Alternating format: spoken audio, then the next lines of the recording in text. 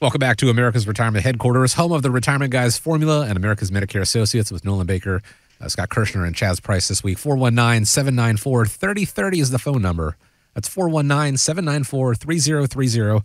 Online, americasretirementheadquarters.com or arhq.com. Now, retirement is supposed to be a point in your life to enjoy the fruits of your labor. And for most people who have a solid plan in place, uh, you know, to have a relaxing retirement. But sometimes life happens. So let's talk about this. You know, what people could expect, and when you're helping clients build out a retirement plan, what kind of problems might they encounter? Well, I'd say you know one of the times I think when people come to the office and they're working on developing what their retirement plan is, it's kind of a new phase in life. So they they know they build up a 401k, have a nest egg set aside, and you know they they don't really have kind of a plan in place that is able to figure out how do you build a strategy that's designed to help them achieve peace of mind, good confidence to be able to get to and through retirement time. And you know, we've trademarked that process. It's called the independent income system. In fact, uh, for those of you who've been listening, maybe if this is the first time or you know been listening for the past 20 years, like what we've been on radio here, look up the independent income system.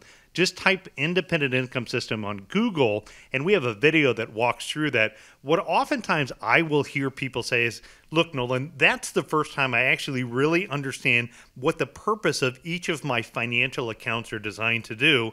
Then to me, the question becomes, well, what could blow that up?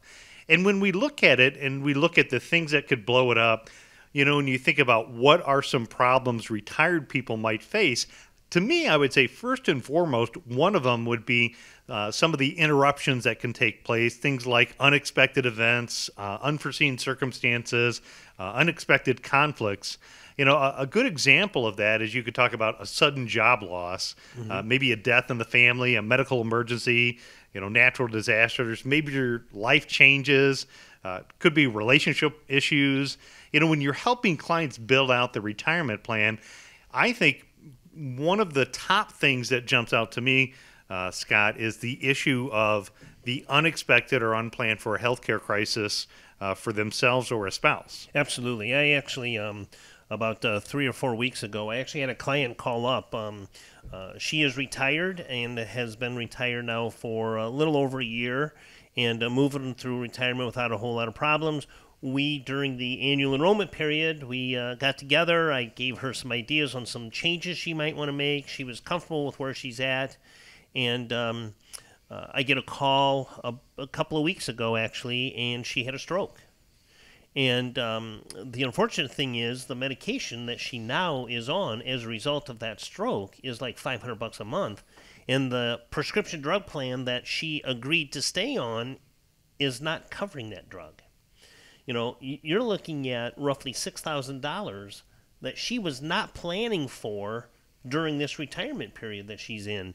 Uh, so, you know, you're actually absolutely right, Nolan. One of the things that really can blow up uh, uh, your plans moving through retirement is that unexpected health out of pocket expense. One of the things that I think is most common is situations like that if we make sure that we get you the proper health plan, whether it be a, a supplemental plan or an advantage plan, you can kind of prepare and plan and know moving forward from the date we write the policy moving forward what your out of pocket expenses are.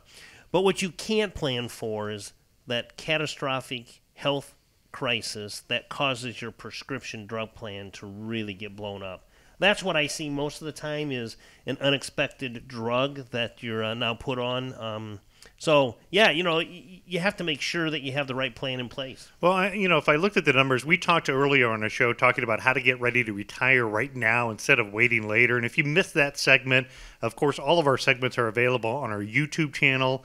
Uh, if you go over to YouTube, just type in America's Retirement Headquarters. You can watch that show or any one of our past shows.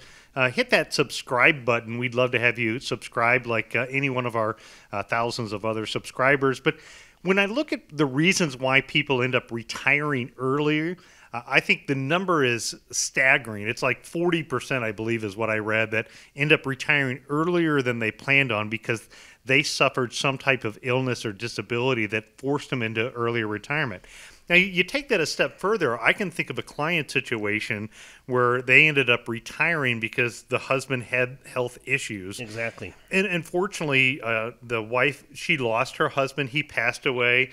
Uh, more on radio, so I got to be careful what I can say. But you know, four-letter word to cancer because you know mm-hmm. cancer is such a, disastrous thing. Mm-hmm. It's impacted me, many of our clients, but you know, it can wipe things out in a hurry. And so the other thing that you you've got to think about is what do you do about replacing the income if you experience a death of a, a spouse? Sure.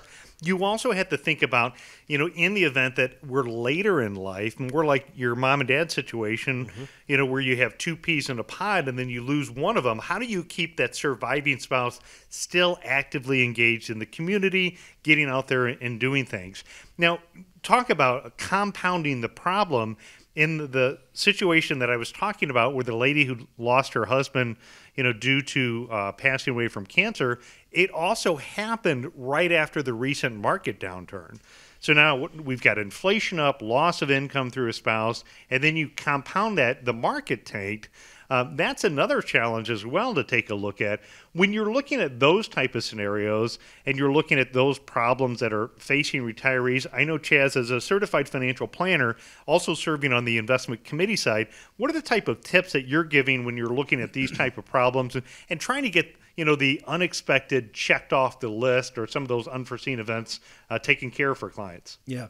The, the first thing that comes to mind is uh, just what you said is that oftentimes uh, when one one calamity occurs, there's generally something else that goes along with it. So oftentimes we do have to make some adjustments to the plan and and stress the plan for multiple uh, events. And so part of our job as financial planners, in in my opinion, is that um, yes, there are a number of issues and risks that retirees face from longevity, which is outliving your money, inflation, healthcare issues, but not every person is the same.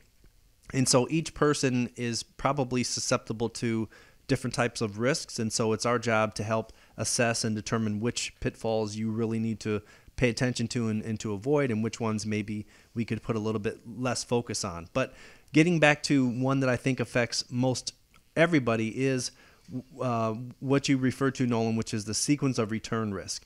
And sequence of return risk is basically the phenomenon that describes how the timing and the order of the returns that you get early in retirement can really have an impact on the longevity of your money. And so, uh, taking an example of 2008, let's say you decided to retire in 2007, 2008. Everybody remembers the Great Recession. Market was down top to bottom, probably close to 40%. So if you started, you know, taking, um, you know, money out of an account where the shares that you owned were worth, let's say, you know, ten dollars a share, and then uh, considering the market's downturn, basically eroded the value of those shares down to about four dollars a share. Uh, if you needed to take income from that portfolio, you'd obviously have to sh- sell more of your shares, which would eat the portfolio up a little quicker. Versus if you could wait three years or so maybe not take from those accounts that it, that had suffered losses. Uh, 2011, you know, the market had rebounded then, and maybe your value of the shares would be worth around twenty dollars. So, so the example, and and I guess the the key there is flexibility, you know, and that's where the independent income system really comes into play. Is that obviously we can't control the market, but we can yeah. have a plan for it it's what it all comes back down to. What we say so often here on the show, uh, uh, you know, and at America's Retirement Headquarters is control what you can control. The market, not something we can control. You know, uh, the likelihood of an illness or you know natural disasters, all these different factors that could really throw your retirement in flux. We can't control if and when those happen. We certainly hope that they don't, but it is better to prepare for it. You know, calling back to the Boy Scouts, what's the, the motto? Be prepared. And so, developing a strategy to know that you know these things could happen, uh, and, and, what do we do if, if that does happen? When the market does, uh, you know, see its ups and downs, how do we poise to respond to that? If there are things like long-term care that we may face down the line, do we have a plan put in place? It all comes down to having that comprehensive retirement strategy And that is what the team at America's Retirement Headquarters does. And so if you have questions or, you know, doubts about what may come down the line and, and you want to make sure all your, your T's are crossed and your I's are dotted, pick up the phone and give a call, 419-794-3030. Or you can go online, uh, make that appointment on the website as well, arhq.com. And then while you're there, go ahead and check out the events tab and find, you know, one of the events that, that's coming up uh, later this year and one that works for you and your schedule. And go ahead and reserve your seat as well. That is at arhq.com.